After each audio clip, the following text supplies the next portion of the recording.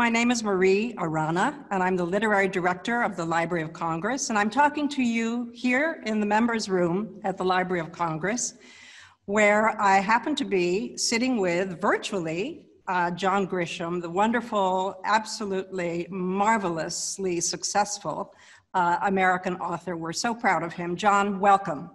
Happy to be here. Now, I have to start out by saying um, that you were the first winner of the Library of Congress Prize for American Fiction, which at the time went by a different name. I think it was called the Creative Achievement Award, the Library of Congress's Creative Achievement Award.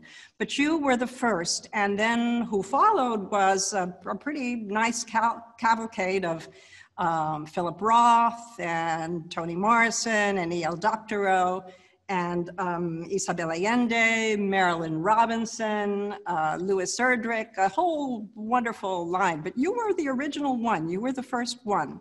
Um, so how does it uh, feel to be uh, Library of Congress original? Well, thank you for the award. You gave it to me 20 years ago.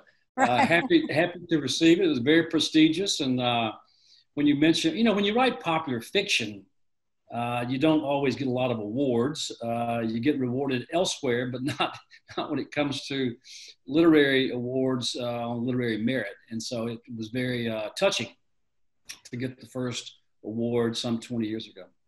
Well, your writing is uh, more, I think, than than the popular genre. It is um, a very crafted, very wonderful, and I would say, in every sense of the word, literary. Um, and we're very, we were very, very happy actually to, to sort of plant that seed of, uh, of John Grisham as being the first. So um, you don't need an introduction from me. You have published more than 40 books uh, for in, in really every genre for children and adults and all kinds of things. Your books have been made into movies. You've sold, I think, more than, well, hundreds of millions of books around the world, and they've been published in more than 50 languages.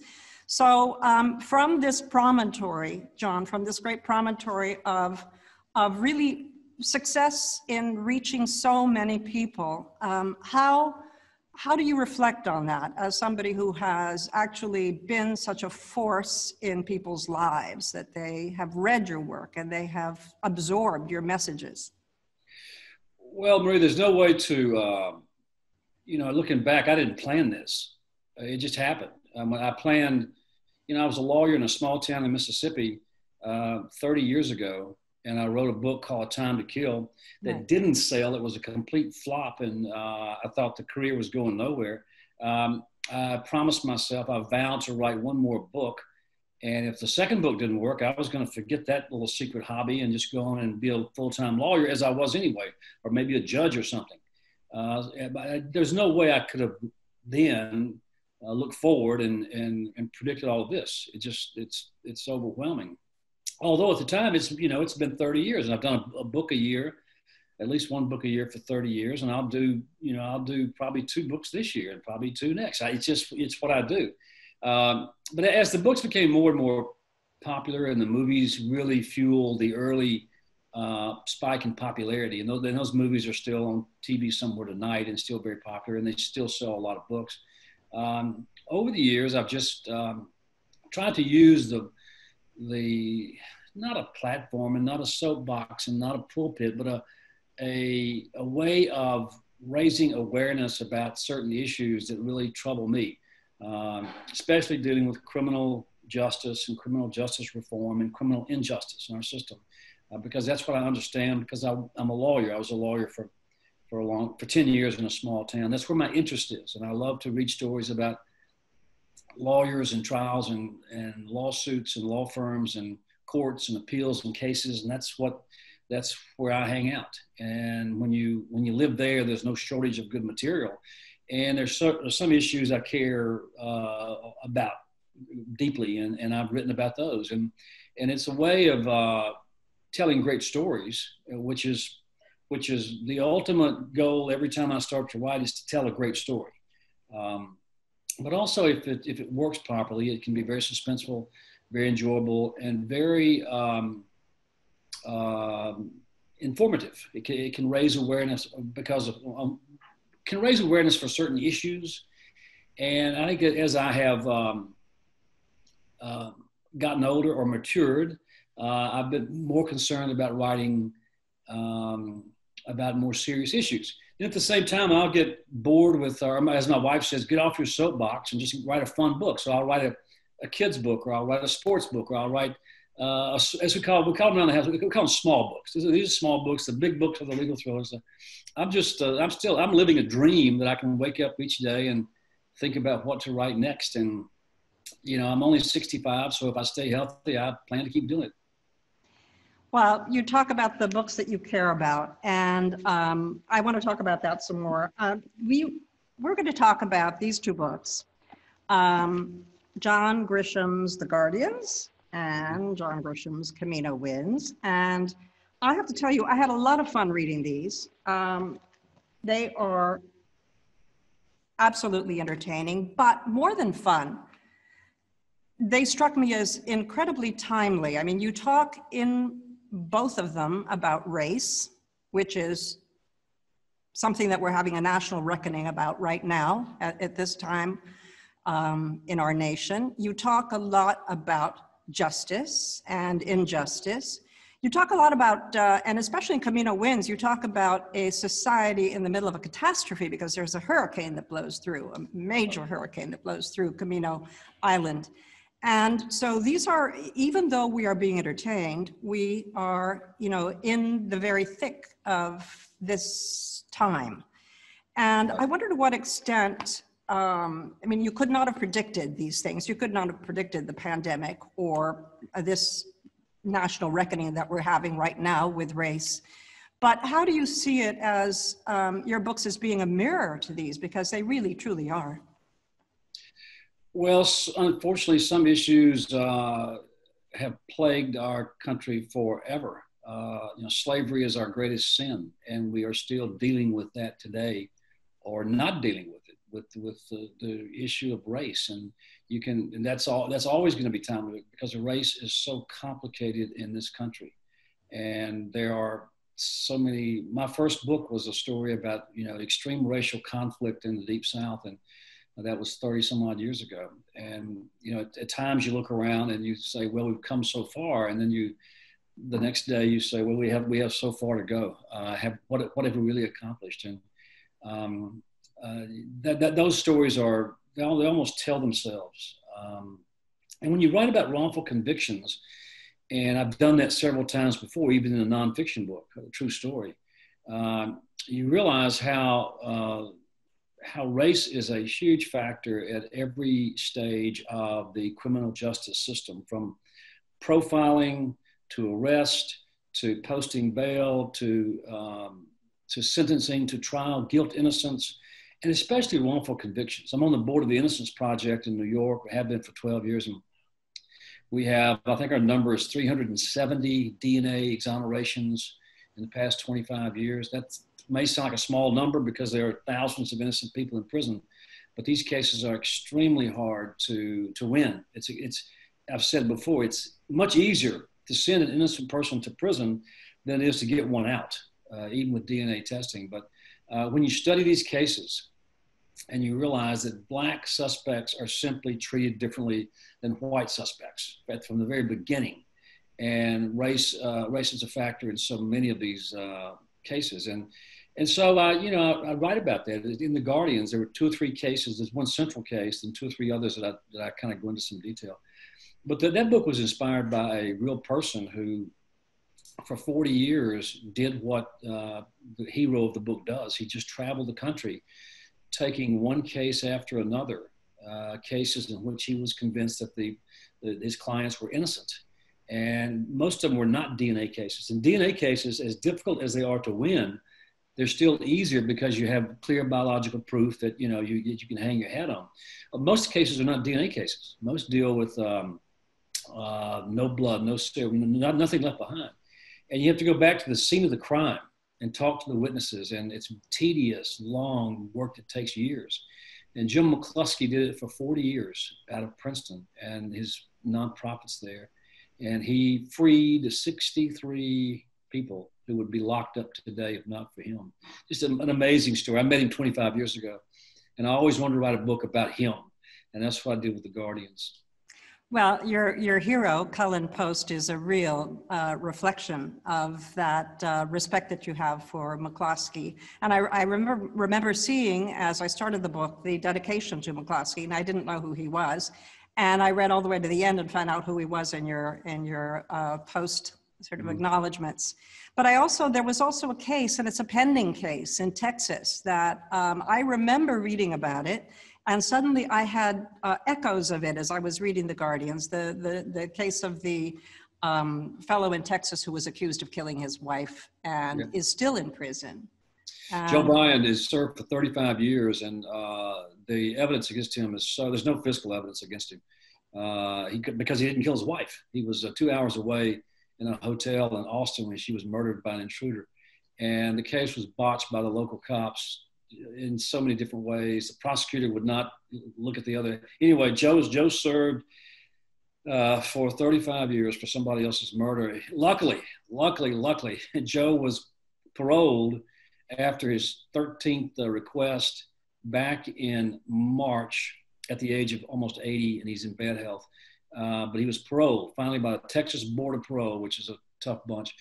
Um, and he walked out just in time for COVID 19, but he's uh, happy to be out. He's through. I talk to him all the time. He's thrilled to be out. He lives with his brother in Houston, Texas, and he's got a few good years left and he's going to enjoy them. But I mean, think about that. They, they, they now have a, a, very good suspect in the murder that goes back to 1985, uh, but it's far too late to convict anyone. And it's another, another wasted life because of, um, all the factors that lead into wrongful convictions. And we, we, we have not cleaned that mess up. Okay, we could, if we had the political will to do it, we could pass laws that would almost uh, eliminate wrongful convictions, but we won't do that. Well, it's, it's really interesting to me because you, I think your hero, Cullen Post, says something like it's really, really easy to convict somebody and it's devilishly hard to exonerate somebody. And yeah. of course, what that takes, and you prove so well in, in The Guardians, um, is an incredible amount of sort of in, investigative, what investigative journalists do, um, yeah. what, of course, the legal profession does. The, the extreme kind of logic that needs to go in to what, the, what you're gathering, how you're going to prove it, uh, all of that that goes into, into play in, in a case like that. But I would also add that you, as an author, as a writer of this kind of thriller fiction, mystery fiction, um, also are employing a kind of very, very um, uh, sort of determined and focused logic as you go forward. You have to keep all the pieces going in the same way as you would do were you handling this case.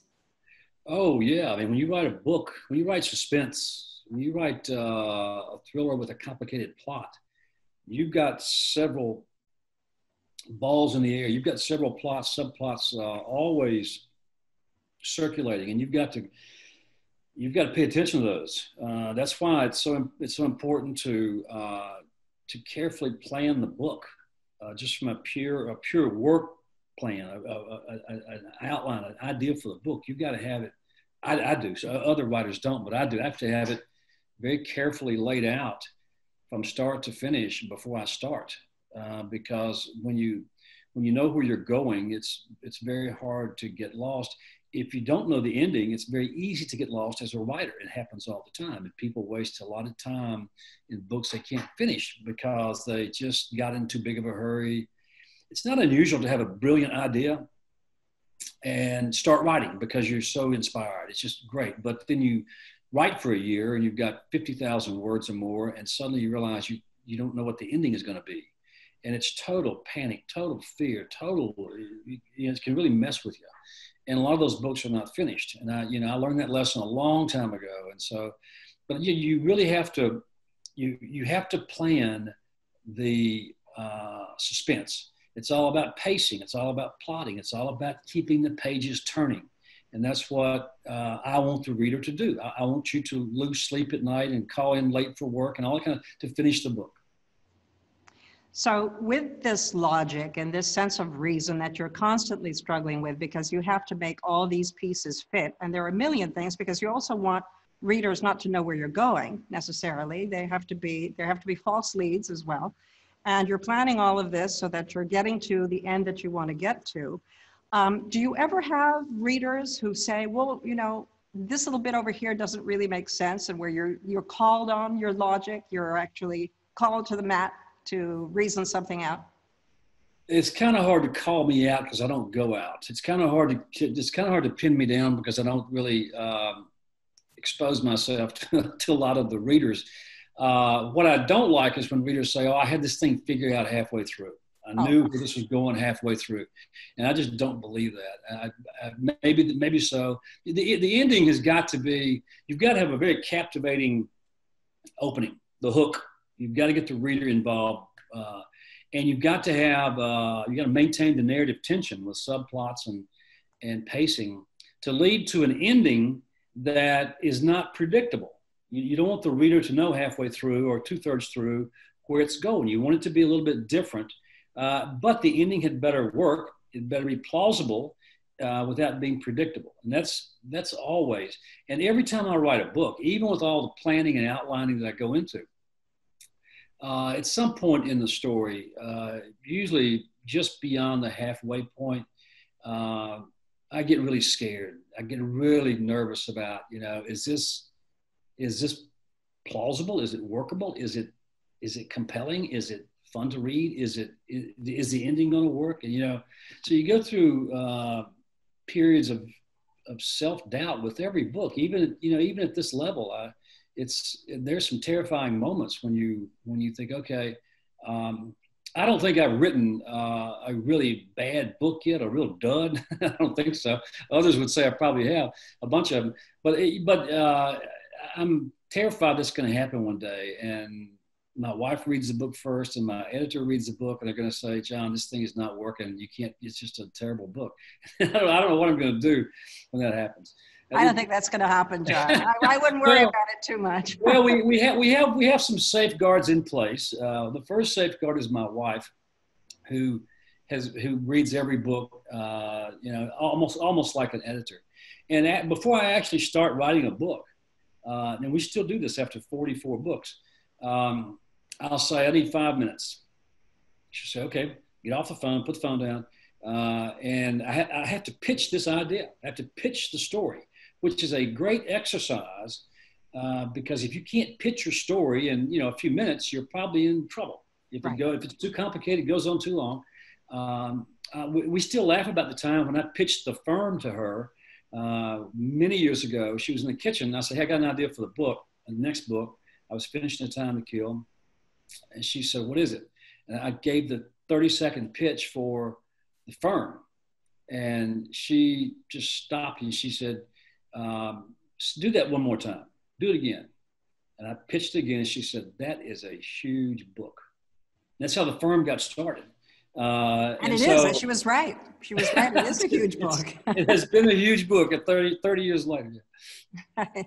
Right. So did she play a part in, uh, did Renee play a part in Camino Winds? Did she? Uh, I mean, this is a really fun book. It's basically, and it's so much fun for me and for lots of people who are in the book industry or in the reading industry the the sort of the, the it's it's all it's all a bookseller and a bookseller's life right yeah it's, it's really it's really uh, she, she was involved in the first Camino, in Camino Island because we were driving to Florida about four years ago our annual summer trip we, we pack up the car and take off to to a place in Florida we always go to and we were listening to NPR and we listen to books on tape and we have the dog and we it's our it's our annual pilgrimage, our vacation. We, we love to do it. And we take turns driving and napping. And we had just uh, listened to NPR, and there was a, this great story about the theft of some rare books uh, from some library in Europe and how they caught the how they pulled off the theft. And so we were inspired. So we started talking about forget legal thrillers, forget kids' books. How, how could you fashion a uh, uh just a good old mystery around theft of rare books or rare manuscripts. And so we kept talking and, and we kind of got into it. And so it, we bounced around for the whole week. I stayed, I did research all week and pulled up stories about the theft of rare. It's quite common. It's quite common because libraries are not known for their strict security. You know, over the years, they are, they're getting better now. Uh, there have been some great thefts of, from personal collections of rare books. Who can you imagine stealing books? And so that's where the inspiration came from. And so I pitched the idea of the story. She loved the idea of the bookstore, the group of writers who hang out around this bookstore in this small town in Florida. The bookstore is patterned after my favorite bookstore in the world, Square Books in Oxford, right. Mississippi. Uh, so I just took that bookstore and I put it in, in, Santa Rosa, the fictional town. So yeah, Renee was very much involved with that. And by the time I published the book uh, three years ago, uh, she and I both were talking about the next one, the next book in, in the series. I don't know how long the series is going to go. I sold two more books to Doubleday. Camino Winds is the first of two. There'll be another one in a couple of years. So we're talking now, and and we have some very good ideas. But the Camino series is something we talk about openly. Uh, the kids series, the Theodore Boone series, has become a family project. There are seven of those books now, and we're always over dinner, drinks, or whatever with the kids, always kicking around an idea for the next Theo book. And so that's what we kind of lunch on and dine on around our house. That's great. Uh, I, I, love the image. Uh, I want you to know, though, that we have great security here at the Library of Congress. Nothing's better. getting out of here fast, uh, that's for sure. But you know, I wanted to um, to ask you because, well, two things about Camino Winds because it's not just book selling. You also get into assisted living facilities and the um, the sort of rampant negligence that goes on there, and you sort of get at it in a very curious way. How did that come into your head? How, what was the seed of that? Yeah, that's that's pretty much all uh, fiction. I uh, I have a I have an aunt uh, who years ago worked in a in a sort of a low end nursing home the and the on the Alzheimer's wing, and the stories are pretty horrific. And she she would tell us how they go to great lengths to keep these people alive just one more month, drag them to the finish line one more month so they can bill Medicare uh, for three or four thousand bucks. And and I mean, you want to keep the people alive forever. Although these people um, it brings up the right to die issue too that I have not really explored, but I feel very strongly about because, and I've seen, we've all seen some of these people who are so far gone mentally that they don't know where they are, and and, and yet they continue to to hang on and hang on and hang on, and and so that was sort of the background. The the fictional drug that helps prolong lives, all that's all just you know a figment of the author's imagination Good. I'm glad that it doesn't exist. It's a pretty but, scary drug. I hope so. I hope it's fictional. so, um, but one thing that really is reflected so nicely in this book is friendship between authors and the friendships that develop in the whole book writing thing. I mean, book uh, writing is a solitary. I mean, yes, you you discuss ideas over your dinner table and with your kids and with Renee, but um, basically, when push comes to shove, you're sitting at your desk and you're writing the thing, and it's you're alone. And you write alone, and the reader reads alone. I mean, these are there are several things that you do in life that you do alone: get born, die, and read right. and write. Right. And so, um, what I want to ask you is these wonderful relationships that come out uh, that writers have and booksellers have with writers and writers with other writers. Do you have these relationships yourself? I was influenced by uh, two things that have happened to me so far in the last 30 years. We moved to Oxford in 1990, and we'd gone to school at Ole Miss. We even got married in Oxford. Went back to our hometown about an hour away, just outside of Memphis. That's where we lived, and I practiced law, and we had our kids and all that. And then once we had the chance, we moved back to Oxford, which it's a beautiful little college town. And we moved there in 1990. The bookstore was up and running big time. Willie Morris was the writer in resident at Ole Miss. Uh, Barry Hannah was teaching at Ole Miss. Larry Brown had just broken out and gotten you know pretty famous. And Richard Howorth, who owns the bookstore, was on the national circuit. And all the writers came through Oxford, all the big tours. And we met all I met all of us by hanging around the bookstore. And it was not unusual to go uh, to the bookstore late afternoon for a signing and and the writers there, the, all the other writers in town, a bunch of readers are there, fans are there for these wonderful book parties that would go on for a long time, maybe even long dinners. I'll never forget 1994 when Donna Tartt published her first novel, The Secret History. She's from oh, she's from Mississippi. She went to Ole Miss, and it was a grand homecoming for her. And the store was packed, and the, I had read the book. I just loved the book. And we went out for a long dinner afterwards, and it was just her editor from New York and our publisher, and you know that was it was that environment uh, in 1990. We left uh, and moved here 25 years ago, and yeah, it's it's hard to find. It's hard to hang out with the writers because they're a bunch of weirdos for the most part. Their, their strains are different. They they do work alone. They think alone, and and yeah, it's it's difficult. However, I have found some friends here. Um, we have a group of writers here in Charlottesville because there are a lot of writers here, and uh, we we're hanging out more, uh, talking more, lunching more, drinking better wines, and when we're together, we it's all about um, you know what are you working on, uh, what has your agent done lately, what has your publisher done lately, what's the gossip, or what have you read? You know what good book have you read? And so we, we have a number of those long lunches uh, in the course of the year. Speaking of relationships with, with authors, um, is there, when you were starting out, was there an author that you admired, that you wanted to be like, or that you took ideas from? You, you, you know, you, you were sort of inventing a genre here. Um, and so I wonder whether there are ancestors to your books. I, am not sure I can answer that. I'll tell you a story. Um, in 1987, I was trying to finish A Time to Kill, and I was very disheartened by it um, because it is, at that point, I was a very busy lawyer in a small town. I wasn't making any money, but I had a lot of clients, and my clients couldn't pay me. So I, but I stayed busy, and it took a lot of hours. I was also in the state legislature in Mississippi. I'd been elected and I didn't have a lot of time. My wife was having babies, so life was fun. Life was good. The only time I could write was, you know, early in the morning, real early, and I did that for a number of years. But um, I, you know, I was I'd put the book down, and uh, I did. I, the Time to Kill was the first thing I'd ever written in my life. I, I, I'd never dreamed of being a writer. It was not a childhood dream. It was not something I studied in college. It was just something that came later in life when I was a lawyer and I would stop writing the book, and finally, eventually, Renee would say, "Okay, where's you know where's the next chapter?"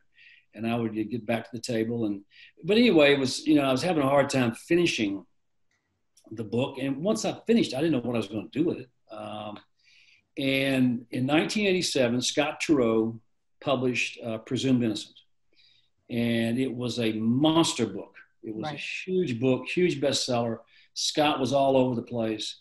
I read the book, loved it, I thought this guy can write. This guy can tell a story. This is this is really and all these wonderful things were happening to Scott because of that, and it was uh, extremely motivational. It really got me fired up to finish uh, A Time to Kill and then go into the next book. And and so that was one moment in life uh, where I was uh, really inspired by. It. And Scott and I have become friends. I've told that story many times. And we hang out whenever we can. Uh, but he's he had a huge impact on, on me. Yeah, yeah, and I, I, see, I see, yeah, an echo there as well. Um, I want to ask you because you know there are clear heroes in your books. They, um, whether they're men or women, uh, there are there are heroes who stand up and do the right thing and um, and fight against the odds to do the right thing. But there are also lots of bad actors. There are bad cops. There are corrupt lawyers. There are um, uh, forensic hacks who you know mm-hmm. pretend to do the work but don't. Um, and there's a lot of uh, money under the table and all of that. Uh, you're obviously um, very passionate about uh, justice being done in the right ethical way. Uh, and but we learn a lot about um, you know the, the, the, bad ways things can happen in the law Right. Um, so I want to ask you because the, the theme of this festival is American ingenuity.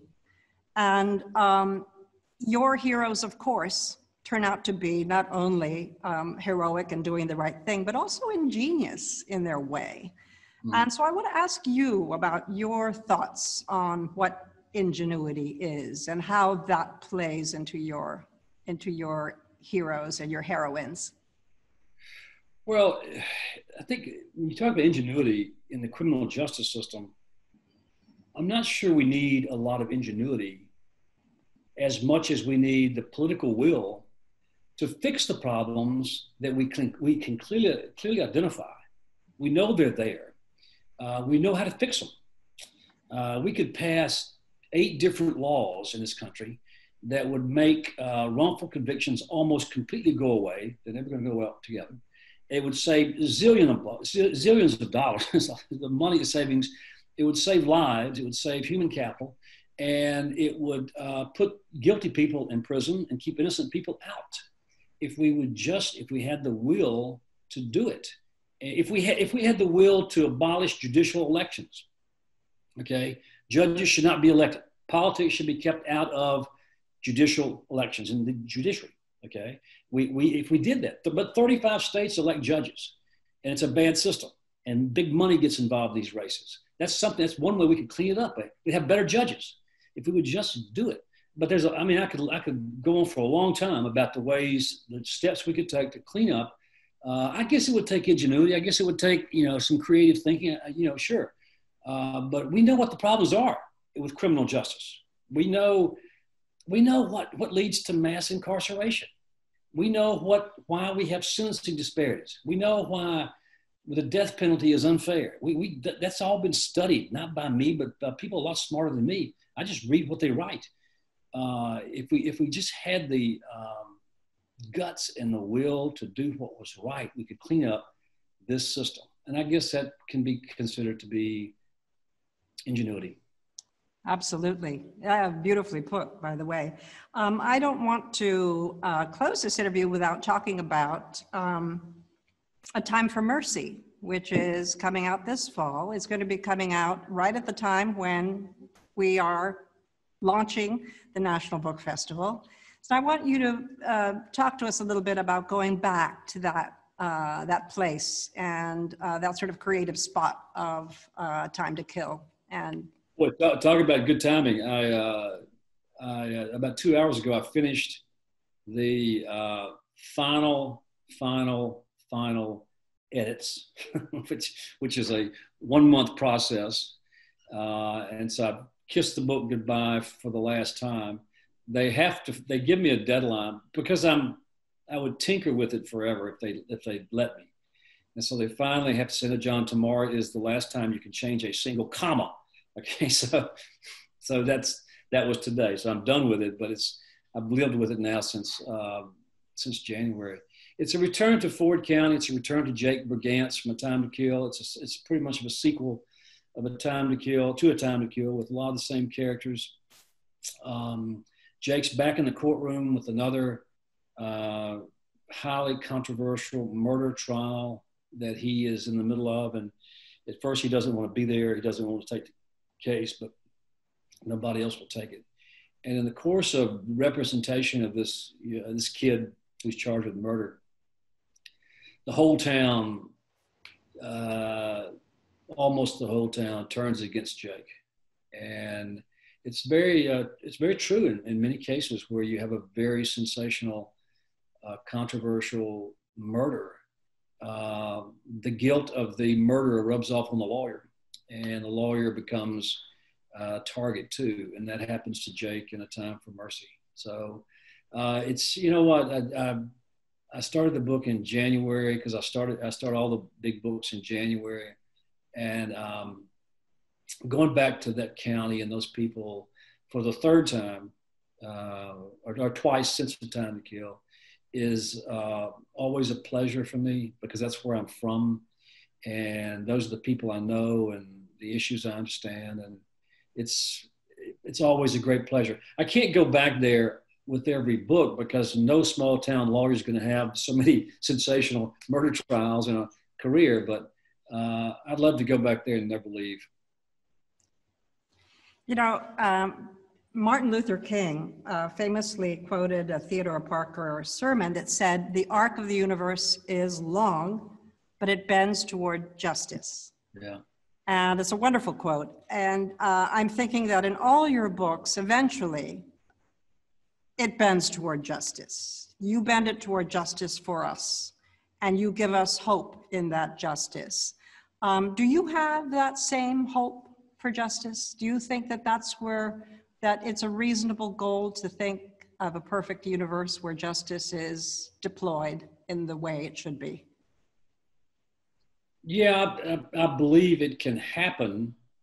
I'm not sure it will happen, but we as Americans with our system, we have the ingenuity and the courage to to make it happen. With time, uh, you talk about wrongful convictions. We've come so far with DNA testing and different laws that you know we're, we're making a lot of progress. Uh, I'm hoping that I'm hoping that the next administration uh, is more committed to criminal justice reform. Uh, we were getting close a few years ago because the Democrats won't reform for the sake of reform. Many Republicans won't reform because they're tired of paying for 2 million people in prison. And so they were getting toward the middle of some meaningful criminal justice reform. And then 2016 happened. And then uh, if we can get back on the same page, we're going to see some real progress in criminal justice reform. And uh, I, I, hope I'm there to write about it. I would not mind being there to be in the room if, if I could be of use to anybody. Uh, but that's yeah, we can get there. We can we can we can do a lot to change the, the, some of the laws, some of the issues you, you see now being protested, some of the actions by the police. That that can be corrected. That that, that can all be fixed if we can just find the will to do it. Well, that is a wonderful, hopeful note to end on. And John, I just want to say in this 20th year of the National Book Festival, and in this 220th year that we're celebrating here at the Library of Congress, and to be here with you, who the very first winner of the Library of Congress Prize for American Fiction, is a real pleasure and a real joy for me personally. Thank you so much for joining us. Hey, the pleasure's mine. I enjoyed it. See you next time. Okay, thanks.